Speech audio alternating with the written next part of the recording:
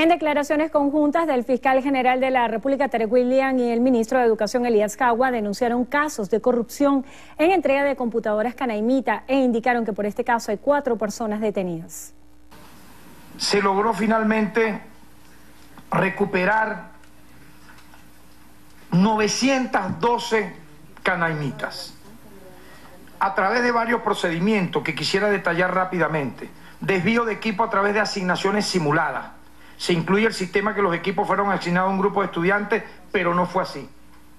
Venta de equipos no asignados en el sistema, los equipos son robados de los depósitos y vendidos. Desvío de equipos en las zonas educativas, se piden más equipos de lo que se asignan en la escuela y el sobrante se vende.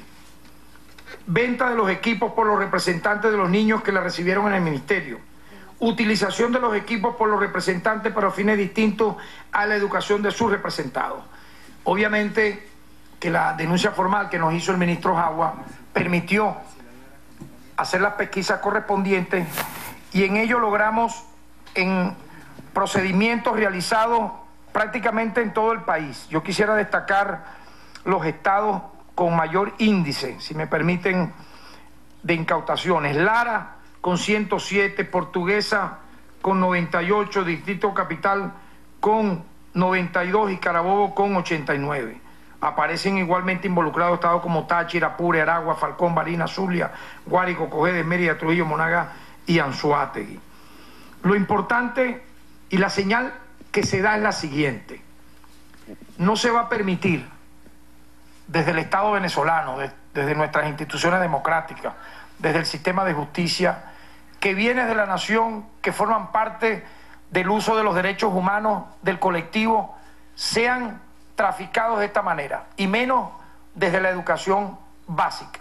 El mensaje que queremos dar desde el gobierno bolivariano, como nos lo ha pedido el presidente Nicolás Maduro Moros, es que efectivamente eh, desviar la canaima, que es una donación que hace el Estado venezolano, programa iniciado por nuestro comandante Hugo Chávez en el año 2009, para garantizar un derecho humano y constitucional como es el acceso a las tecnologías de información para todos los jóvenes, para todos los niños y niñas de Venezuela, termine en un uso totalmente distinto al carácter pedagógico para el cual fue, el cual fue creado. ¿no?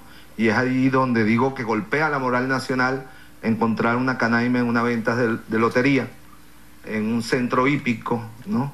en una eh, fiestas informales, los DJ, ¿no?